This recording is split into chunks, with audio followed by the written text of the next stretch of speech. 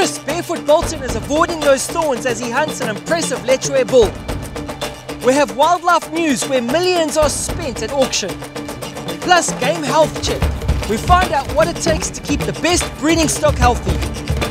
I'm Richard Leonard and this is Fieldsports Africa.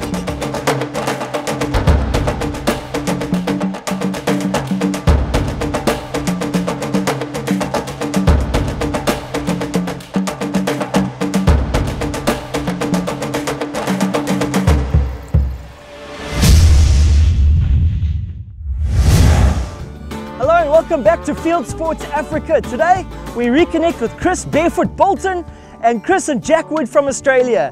It's a new day and we're looking for another highly sought after quarry here in Africa. In our first episode, Chris managed to take a buck of a lifetime, a 30 inch waterbuck bull.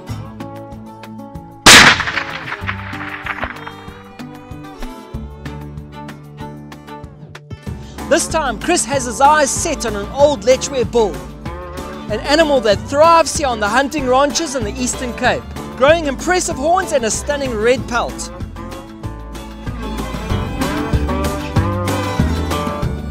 The following morning we got up nice and early. Chris said that he had a, a special spot picked out for us today, the most amazing place for us to hunt. He said it was really beautiful, the scenery was amazing. We said, yep, that sounds like a really great start to the day, let's go for it.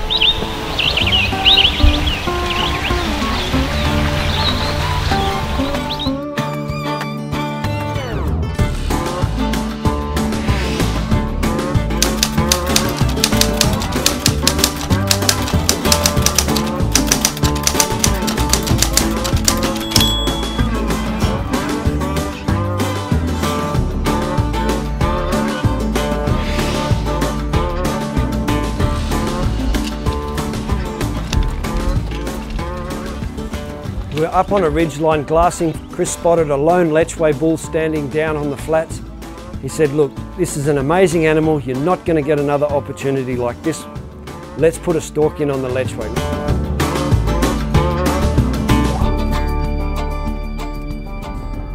So what I think is um, the wind's coming from the left hand side. We're gonna head down to our right. Yeah, there's a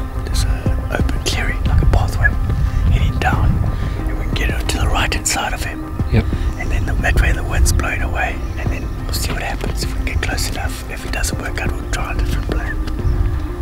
But that's the idea right now. As we started moving along the top of the ridge, we bumped into a herd of eland, the largest antelope species in the world. We must have been only 60 yards away from them and they had no idea we were there. But no time to hang around with the eland. We needed to get back on track with the Lechwe bull. Can we get in that and use the washout, use that as a stalking. Yeah, now we can definitely do that.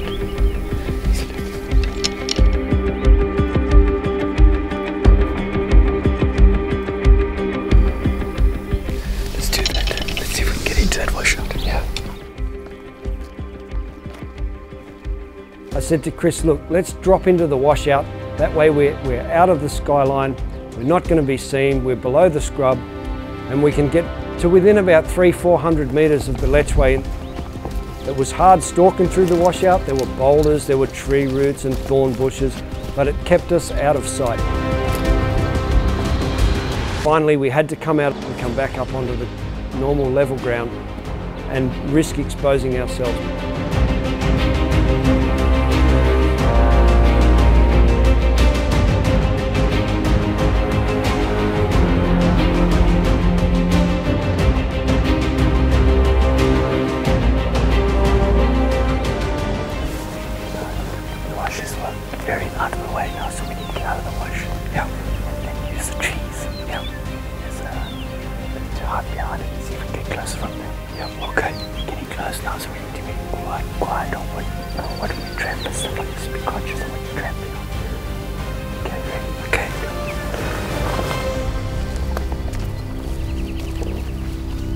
Luckily there was a lot of scrub around where we came out and we managed to track in, go from scrub to scrub, bush to bush, tree to tree, behind boulders and small little rises in the ground kept us pretty well covered. Finally, we got to a point where we had to get on our hands and knees and crawl. And we got to within about 50 metres of the Lechwe. We'd stalked maybe three kilometres on, on, on our way to, to where we were from where we'd seen the Lechwe. It was a long stalk, but everything went perfect. Everything went as planned.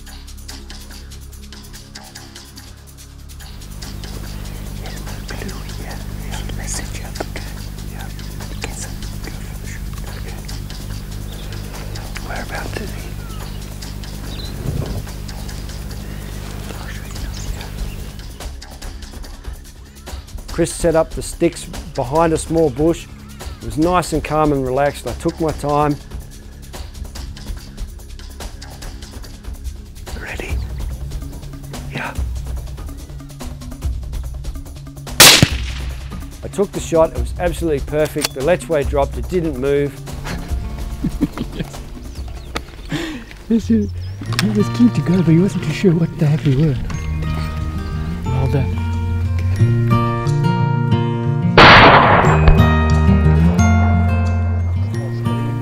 that where you aimed? The neck? Yeah. Oh, the way he was facing The me. angle.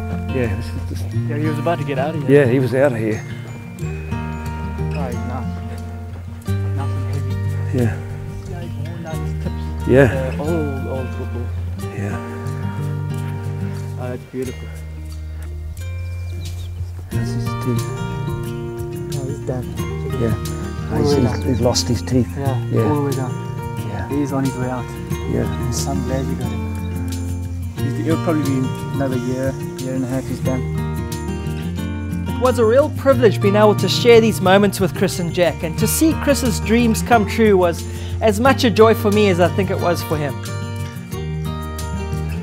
Yeah, we had a, uh, we had a really long stalk. We, we started up on the ridge there, about 700, 800 metres away, followed the ridge line down into a saddle. The saddle we got into a, a washout and we, we walked down the watercourse, kept out of the, uh, the skyline and that got us to within about three, 400 metres. Then we had to sneak through the bush.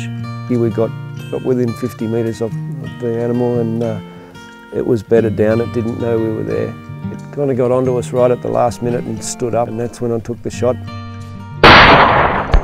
It just dropped back down, and yeah, the animal didn't move, didn't know what hit it. A nice, good, clean shot. It was a really good hunt. All right, thank you very much, Chris. It's an, it's an excellent stay, an excellent trip, excellent hunt. This was just the icing on the cake. It was, was amazing. Thank you very much. Yeah, it was great having you. It was, it was a good time. Had a lot of fun. Now we're heading into a roundup of conservation and hunting news from this great continent. Welcome to African Wildlife News. I'm Beth Sylvester. 35 that we have now. 135 million there. 135 for Inala. A buffalo bull has sold for a record price at game auction. 168 million there. I've sold it. Thank you very much indeed.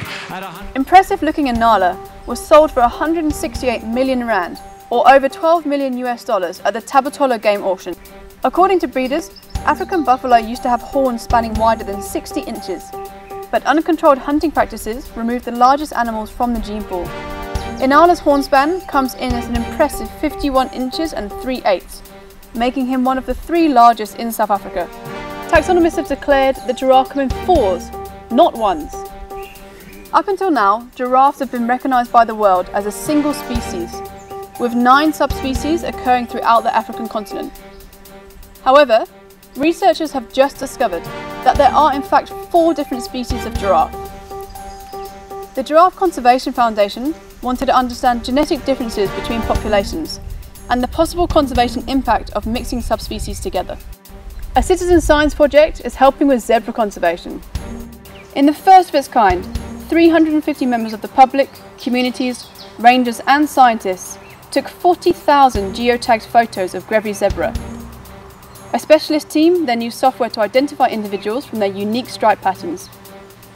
Another team set about aging and sexing all of these animals.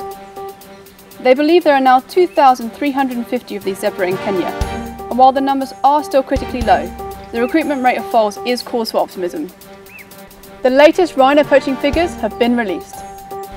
In the Kruger National Park, 458 rhino have been killed in poaching incidents since the start of 2016. In the same period in 2015, 557 were killed for their horns. So far this year, 414 people have been arrested for rhino poaching and related offences. Reserve managers are taking to the skies to manage game. This is the time of the year when reserve managers conduct a census of game on their land. Helicopters are used to fly transects over the bush and all animal numbers are recorded. It is accurate and it allows trends to be mapped over time. If the game numbers are above the carrying capacity, managers can consider hunting quotas or animal translocations. If numbers are low, they may consider restocking certain species to maintain a balance. This has been African Wildlife News with me, Beth Sylvester.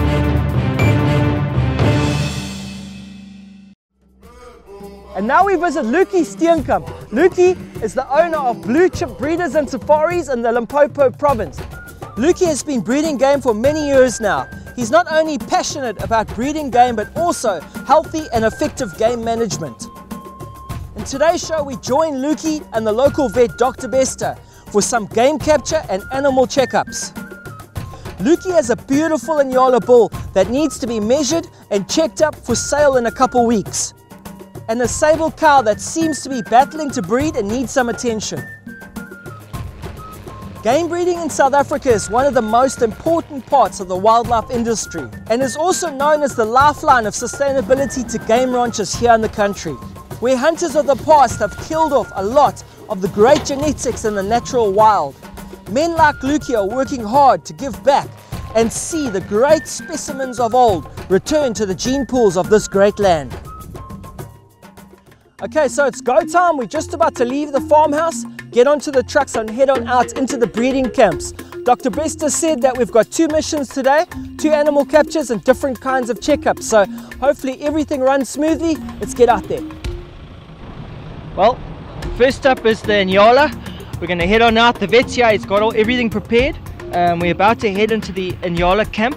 Uh, it's the place where the Inyala are kept safe, um, where they breed. Right now, Luki wants to dart the animal, measure it, see what's going on, how, what kind of shape the animal's in, and then uh, from he, from here onwards, uh, he'll then have a better idea on what price to get for that animal when he sells it in a few weeks' time.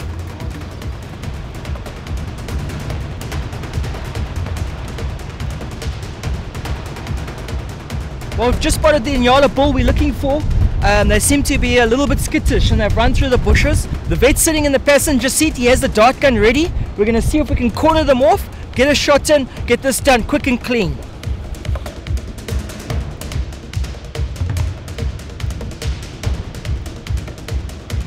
We broke away from the fence line and then Luki spotted the Inyala bull we were looking for.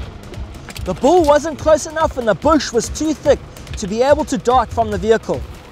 So they decided to rather be safe and take the shot from the shoulder.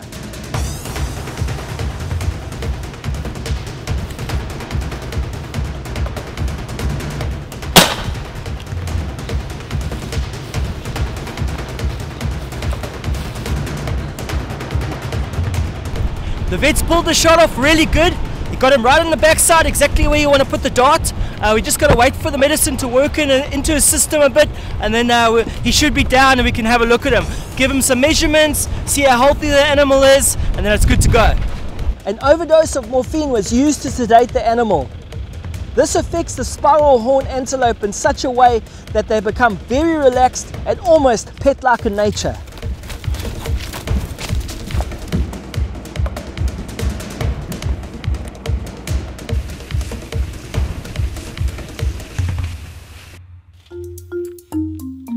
With the animal down and sedated, it was time to do the necessary examination, horn measurements, and administer essential vitamins. Uh, I think 100, 100,000, Okay. maybe to 120,000 rand. Alright, and does the shape, genetics, age also come into play? Yes, definitely. Yeah, this is a like a bell shape in Pala, ach, Nyala. So it's very nice, nice Okay. shape. It's got a 13 and a quarter inch spread and uh, the 8 inches base. So it's a nice book. Wound spray is used on any cuts that may have been caused from thorns or anything else to prevent infections from setting in. And last but not least, the microchip is scanned, which helps log the necessary data. And then the antidote is injected into the vein behind the ear to bring the Inyala out of narcosis and back to normality.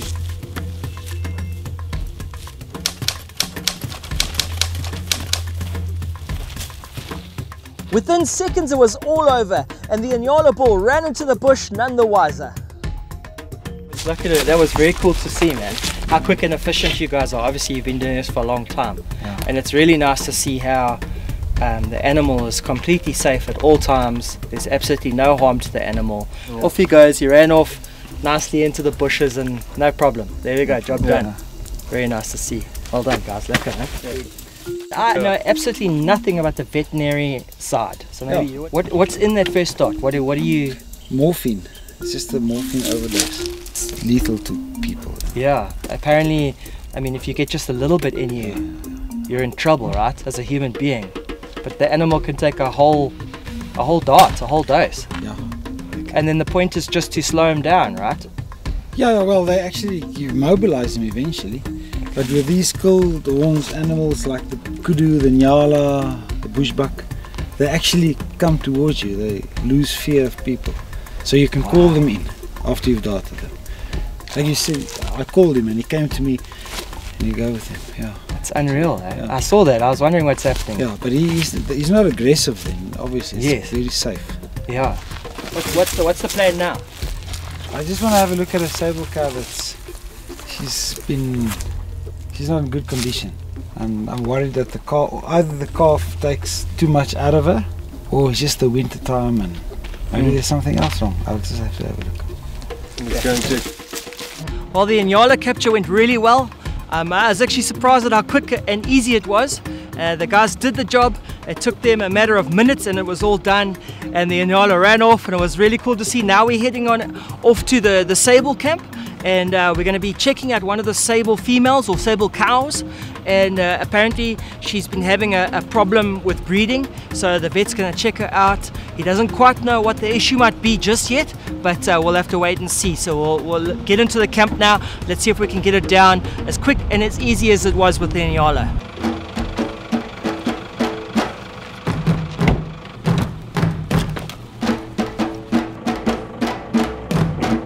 Going for this one now.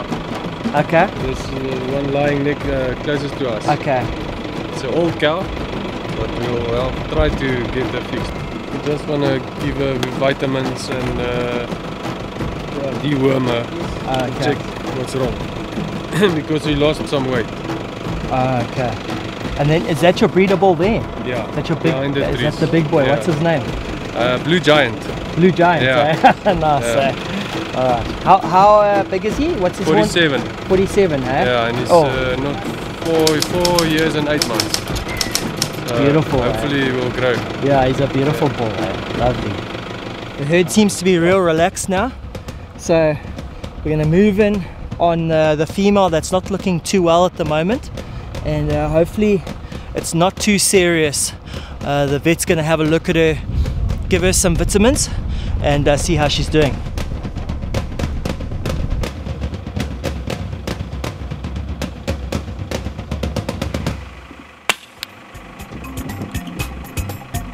He nailed the shot, perfect. We're gonna see if we can get onto her now. Just give her a little bit of time for the medication to kick in, and then uh, we'll, we'll go up to her, have a look. Hopefully, there's nothing too serious wrong with her.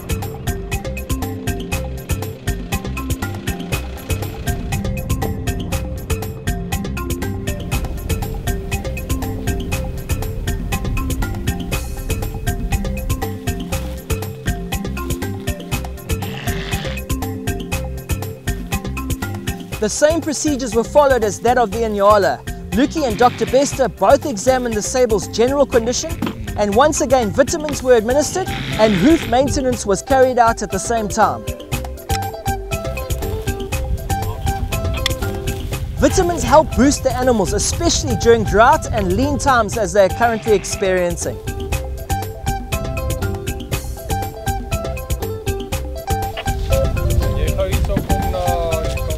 The antidote was administered, the female sable, although a little unsteady, recovered quickly and rejoined the herd.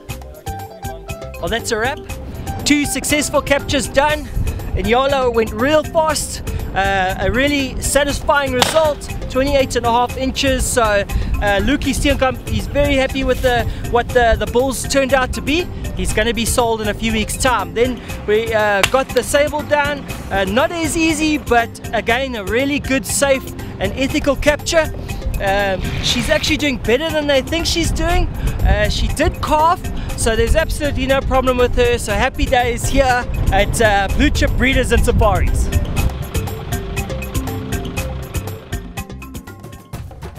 Well, thanks for joining us on another great episode here at Fieldsports Africa. If you guys would like to come and hunt with us here in the Eastern Cape, then contact me at richard at fieldsportschannel.tv. We'll see you guys next time on Fieldsports Africa.